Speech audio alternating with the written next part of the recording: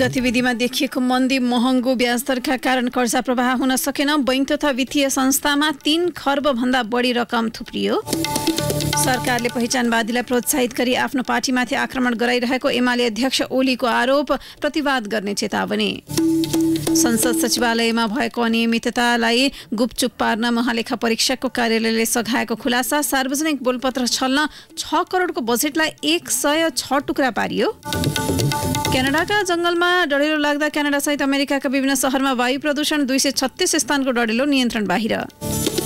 र राष्ट्रिय खेलकुद परिषदमा दर्ता भएको डेढ दशकमै चर्च बोइजद्वारा फुटबलमा नयाँ मानक स्थापित लगातार उपाधि उचाल्दै घरेलु लिगमा बलियो छाप।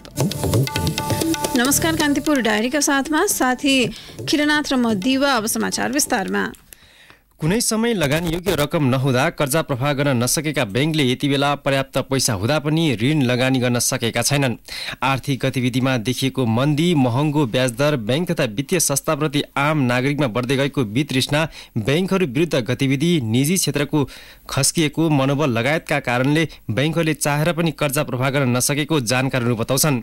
ब्याङ्क तथा वित्तीय संस्थाले विभिन्न आकर्षक योजना ल्याइरहँदा पनि अपेक्षित रूपमा कर्जा प्रभाव बढ्न सकेको छैन। विद्यमान वर्तमान कानुनी व्यवस्था अनुसार ब्याङ्क तथा वित्तीय संस्थाले नब्बे प्रतिशतसम्म कर्जा निक्षेप अनुपात कायम गर्न पाउँछन् तर गत मङ्गलबारसम्म औसत कर्जा निक्षेप अनुपात चौरासी दशमलव चार छ प्रतिशत रहेको राष्ट्र ब्याङ्कको तथ्याङ्क छ। ब्याङ्क तथा वित्तीय संस्थासँग करिब तीन खर्ब अठार अर्ब रुपियाँ लगानी गर्न मिल्ने रकम छ तर कर्जाको माग निकै कम छ। आर्थिक गतिविधि शिथिल रहेको ब्याजदर अझै उच्च रहेको र लगानीका लागि निजी क्षेत्र उत्साहित बन्न नसकेकाले ब्याङ्क तथा वित्तीय संस्थाले अपेक्षित कर्जा प्रवाह गर्न नसकेको विज्ञहरू बताउँछन्। खास गरी उच्च ब्याजदर आर्थिक गतिविधिमा सुस्तता कर्जा मा प्रमुख बाधक रहेको वित्तीय क्षेत्रका विज्ञ एवं पूर्व ब्याङ्कर परशुराम कुवर छेत्रीको भनाइ छ। उहाँले भन्नुभयो अहिले ब्याङ्कसँग ऋण दिने क्षमता हुने तर ऋणीले लिन नचाहने अवस्था छ। ब्याजदर घट्दो दरमा भए पनि अझै महँगो छ।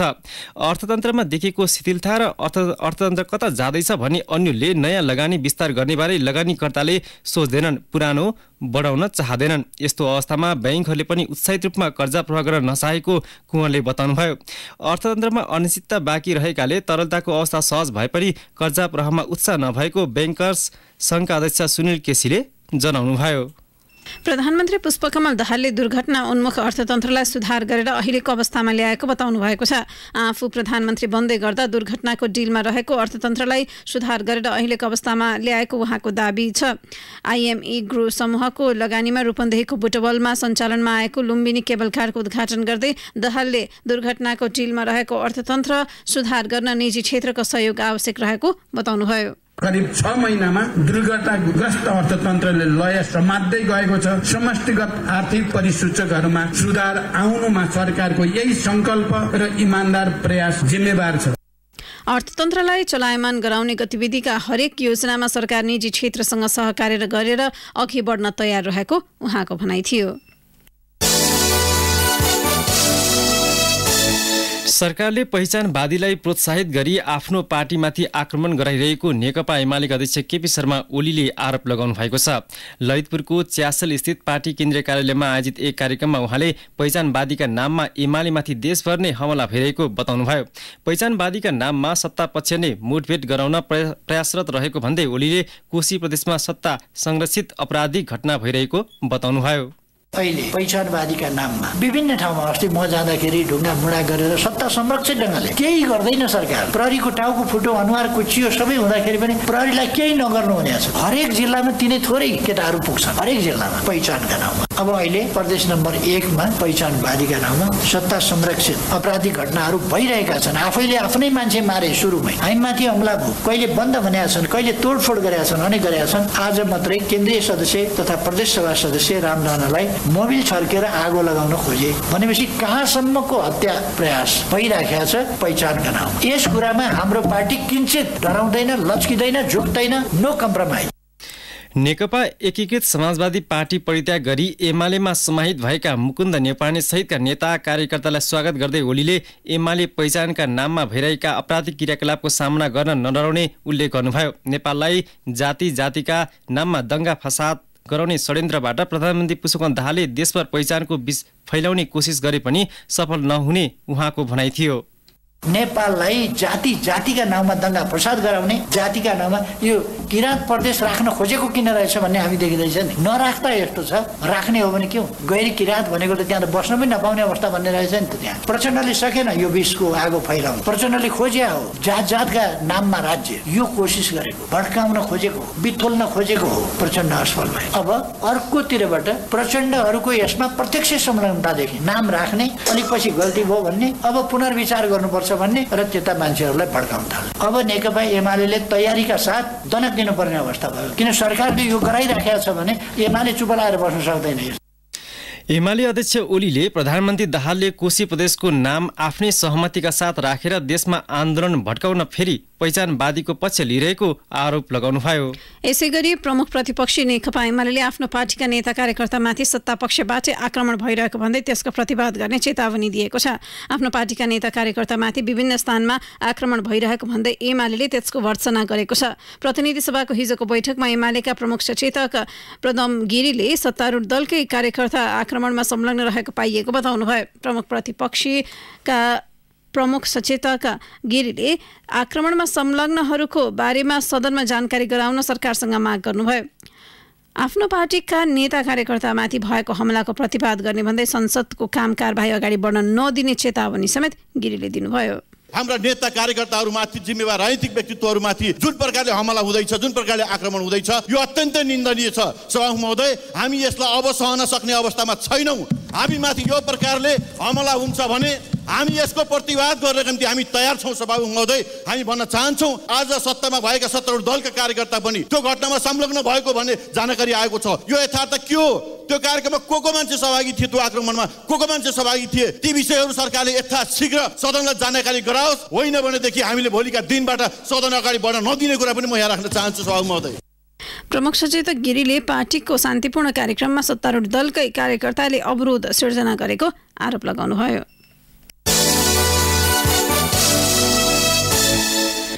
संघीय संसद सचिवालयमा भएको अनियमिततालाई गुप्चुप पार्न महालेखा परीक्षकको कार्यालयले सघाएको खुलासा भएको छ। महालेखाबाट खटिएको अधिकारीले प्रारम्भिक मस्यौदामा अनियमितता औलाए पनि संसदका कर्मचारीले अनुरोध गरेकै भरमा मिलाएको तथ्य भेटिएको हो। नायब महालेखा परीक्षक घनश्याम पराजुलीको टोलीले संसद सचिवालयमा करारमा कर्मचारी नियुक्ति छ करोडसम्मका विभिन्न खरिद भ्रमण खर्चसम्मका अनियमितता देखाएको थियो। खर्चको बिल भेटिएमा वा तार्किक जवाफ आएमा यस्ता टिप्पणी महालेखाले हटाउने गर्छ। तर हटाउन अनुरोध भाषा मिलाउने अब आइन्दा नगर्ने र लिस्ट हटाउने लेखेर पठाएकै आधारमा यस्ता अनियमितताका अनेक प्रसङ्ग अन्तिम प्रतिवेदनबाट गाय पारिएको छ। लेखा परीक्षण गर्न खटिएको टोलीले संसद सचिवालयमा अघिल्लो आर्थिक वर्षमा पाँच करोड सन्तानब्बे लाख पच्चिस हजार सन्ताउन्न रुपियाँको ठेक्का प्रतिस्पर्धा बिनी लगाइएको भेटाएको थियो। सार्वजनिक खरिद ऐन नियामलीलाई छल्न बजेटका बजेट टुक्रा टुक्रा पारेर कोटेसनका आधारमा खरिद गरिएकोमा महालेखाको प्रारम्भिक प्रतिवेदनमा कैफियत लेखिएको छ। मूल बजेट एक सय छ टुक्रा पारेर फर्निचर एसी रङरोगन इलेक्ट्रिक ट्रेनिक कम्प्युटर लगायतका सामान प्रतिस्पर्धा बिना सिधै खरिद गरेको पाइएको थियो। करिब छ करोडको बजेट किन टुक्रा पारियो भन्ने प्रश्नमा संसद सचिवालयले तर्कशील जवाफ नदिए पनि यो कैफियत मूल प्रतिवेदनमा कतै उल्लेख छैन। बोलपत्र होइन दर रेट मागेर सोझै खरिद गर्नेमा सहरी विकास र ऊर्जा मन्त्रालयपछि संसद सचिवालय तेस्रो नम्बरमा छ। सहरी विकास मन्त्रालय र माथतको कार्यालयले निर्माण मर्मत मेसिनरी औजार फर्निचर लगायतमा दस करोड पचासी लाख र ऊर्जा मन्त्रालयले छ करोड पचास लाखको निर्माण सेवा सोझै खरिद गरेको महालेखाको प्रतिवेदनमा उल्लेख छ। संसद सचिवालयले फर्निचरतर्फ एक करोड दस लाख चौवालिस हजार खर्च गरेकोमा एघार लाख बहत्तर हजारको मात्रै सार्वजनिक बोलपत्रको माध्यमबाट खरिद गरेको छ। अन्ठानब्बे लाख एकहत्तर हजारको फर्निचर भने बोलपत्र नगरी निश्चित कम्पनीबाट दर रेट मागेर सोझै ब्रेकपछि गान्धीपुर डायरीमा अब बाँकी प्रसङ्ग। राष्ट्रिय तथ्याङ्क कार्यालयले आदिवासी जनजाति आयोगमा सूचीकृत भएका भन्दा बढी थरहरू समावेश गरेर तथ्याङ्क सार्वजनिक गरेपछि नयाँ बहस सुरु भएको छ। सूचीकृत हुनुका लागि आयोगमा परेको निवेदन उप समयमै निर्णय हुन नसक्दा अन्यल त कायम भएको छ नै के कति जात जाति कायम रहने भन्ने प्रश्न पनि उठेको छ। आयोगमा हालसम्म छैरो तन्न डोल्पो कुसुन्डा तामाङ जिरेल भुजेल राई थारू लगायत साठीवटा जात जाति मात्रै सूचीकृत छन् तथ्याङ्क कार्यालयले सार्वजनिक गरेको तथ्याङ्कमा एक सय बयालिसवटा जात जाति समावेश छन्। एक रिपोर्ट। आदिवासी जनजाति उत्थान राष्ट्रिय प्रतिष्ठान ऐन दुई हजार अन्ठाउन्न अनुसार हिमाली क्षेत्रका अठार पहाडी क्षेत्रका चौबिस भित्री मधेसका छ र तराईका बाह्र गरी जम्मा साठी आदिवासी जनजाति सूचीकृत छन्। आदिवासी जनजाति ऐन दुई हजार चौहत्तर अनुसार आदिवासी जनजाति भन्नाले आदिवासी जनजाति आयोगको सिफारिसमा नेपाल सरकारले तोकेको जाति वा समुदायलाई बुझाउँछ। तर कार्यालयले नियम विपरीत आदिवासी जनजाति कायम गरेको आयोगका अध्यक्ष रामबहादुर थापा मगरको आरोप छ। आदिवासी जनजाति आयोगले आदिवासी जनजाति भनेर चाहिँ टीकरण नै नगरेको र आदिवासी जनजाति भित्र जति सूचीकृत जातिहरू छन् त्यही जाति भित्रैबाट चाहिँ अर्को जाति हो भनेर उसले चाहिँ निकालिदियो। पन्ध्र सत्रवटा नयाँ चाहिँ जाति निकालिदिएर। राष्ट्रिय जनगणना दुई हजार अठहत्तर अनुसार जात जातिको संख्या एक सय बयालिस छ मातृभाषा संख्या एक सय चौबिस छ धर्मको संख्या भने दस छ। विक्रम सम्बत दुई हजार अडसठीको जनगणना भन्दा यसपटक सत्रवटा जात जाति थपिएको छ। मातृभाषा मध्ये बाह्रवटा विदेशी भाषा बोल्ने व्यक्तिहरूको संख्या न्यून भएकाले अन्य भाषा अन्तर्गत थप एक भाषा समावेश गरी कुल एक सय चौबिसवटा मातृभाषा कायम छ। यसअघिको तथ्याङ्कमा मातृभाषाको संख्या एक सय तेइस थियो। आयोगले दुई हजार अडसठी सालको जनगणनामा जात जातिलाई पनि सामूहिकृत गरी अभिलेख राखेको थियो। तर यसपटक गणनाकै समयमा फरक फरक जात उल्लेख गरेको हुनाले जातको संख्या बढी भएको कार्यालयले स्पष्ट पारेको छ। आफूहरूले विज्ञहरूसँग राय सल्लाह गरेरै तथ्याङ्क संकलन गरेकाले पुनर्विचार गर्न नसकिने कार्यालयका सूचना अधिकारी मनोहर घिमिरेले बताए। जातिको तथ्याङ्क निकाल्ने बेलामा विभिन्न चरणमा विभिन्न पक्षहरूसँग बसेर हामीले चाहिँ उपयुक्त निर्णय गरेका हौ होइन? त्यस कारणले अहिले तत्काल निर्णय पुनर्विचार हुँदैन। पछिल्लो समय मुलुकमा जातीय पहिचान संस्कृति भाषा थर जस्ता विषयमा सम्बद्ध समुदायको चिन्ता र चासो बढेको छ। आयोगमै पनि करिब दुई हजार पाँच सयको हाराहारीमा नयाँ जात सूचीकृतको लागि निवेदन परेको छ। आयोगका अध्यक्ष रामबहादुर थापा मगर। आदिवासी जनजाति आयोगले चाहिँ अध्ययन गर्छ। अध्ययन गरेपछि एउटा प्रतिवेदन बनाउँछ।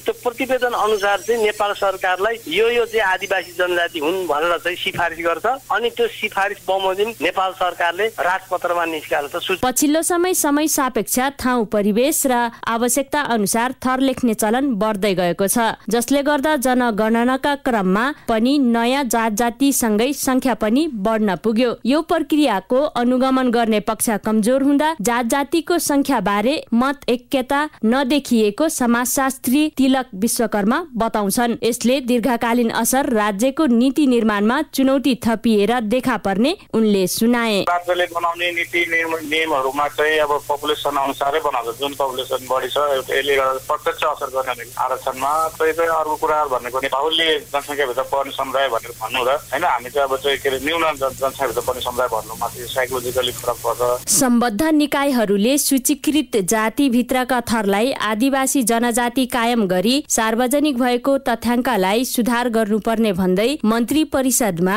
पत्रचार समेत गरेका छन्। जात लेख्ने वा के राख्ने भन्ने व्यक्ति र समुदाय विशेषको अधिकारको कुरा हो। यसलाई बेलैमा सम्बोधन नगरिए आदिवासी जनजातिको संख्यामा विवाद भई नीति निर्माणमा चुनौती थपिने जानकारहरू बताउँछन्। रेडियो कान्तिपुरका लागि सरिता थारू।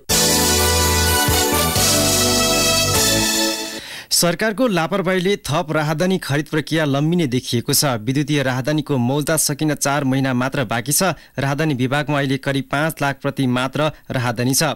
विभाग सबै जिल्ला इलाका र विदेश स्थित नियोगबाट गरी मासिक करिब सवा लाख राहदानी वितरण हुन्छ। खरिद ऐन अनुसार खुला प्रतिस्पर्धामा गएर राहदानी ल्याउन अब सरकारलाई कम्तीमा तीन महिना लाग्छ। समय थोरै भएकाले सरकारले अब खरिद ऐनमै टेकेर दुई विकल्प अनुसार राहदानी खरिद गर्नुपर्ने हुन्छ। भेरिएसन र जी टू जी बीचको सहमतिका आधारमा खरिद गर्न सकिने विकल्प छ। भेरिएसन गर्दा पहिले खरिद गरेको बिस लाखमा पन्ध्रदेखि बिस प्रतिशत राहदानी तुरन्त ल्याउन सकिन्छ तर जिटिजी गर्दा भने दुई तरिकाबाट काम हुन्छ। पहिलो स्थानीय एजेन्टको सहयोगमा र सिधै दुई मुलुकका सरकारबीच सम्झौता गरेर। परराष्ट्र मन्त्री साउदले सरकारले जिटुजी प्रक्रिया मार्फत पारदर्शी रूपमा सबैमै राहदानी ल्याउने दावी गर्नुभयो। उहाँले भन्नुभयो राहदानी खरिदका बारेमा गृह कार्य भइरहेको छ अब छिट्टै निर्णय गर्छौँ। मन्त्रालयले राहदानी खरिद प्रक्रिया अघि बढाउन प्राविधिक समिति र वार्ता समिति बनाएको थियो। भेरिएसन अन्तरिमका लागि अति नै आवश्यक परेपछि गरिने प्रक्रिया हो।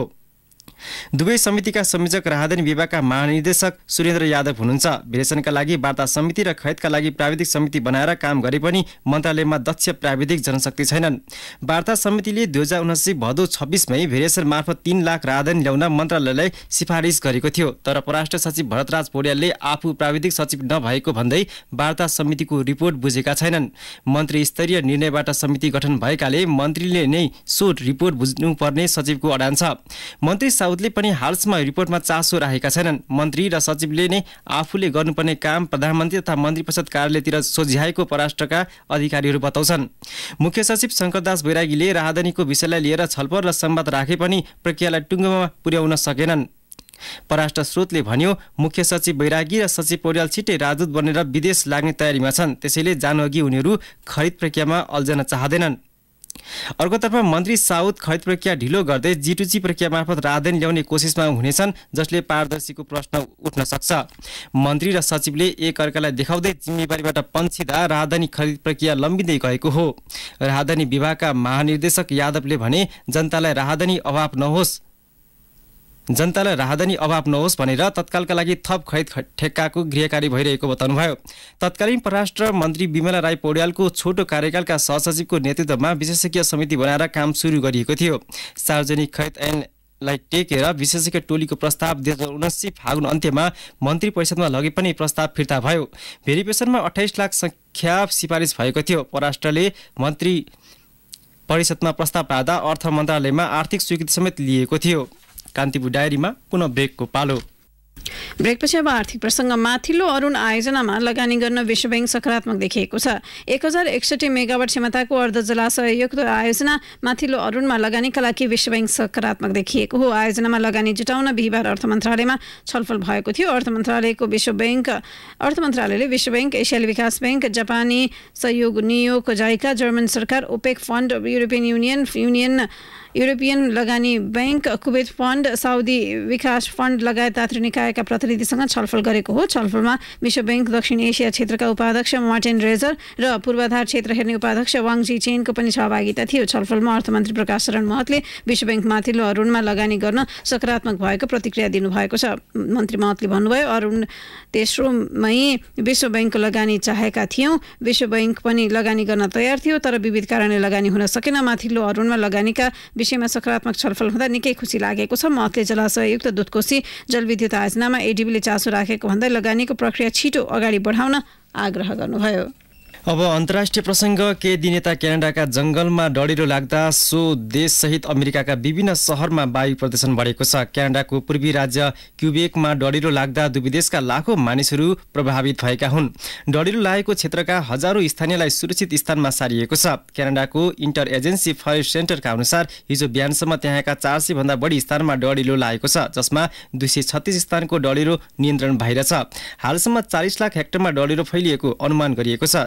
जङ्गलमा लागेको आगोको धुवा पुरै देशभरि फैलिरहेको छ। ओटोवा र टोरेन्टोको अवस्था झनै खराब भएको अधिकारीहरूले जनाएका छन्। क्यानाडाका अधिकारीहरूले अहिलेको डढिलो हालसम्मकै ठुलो भएको बताएका छन्।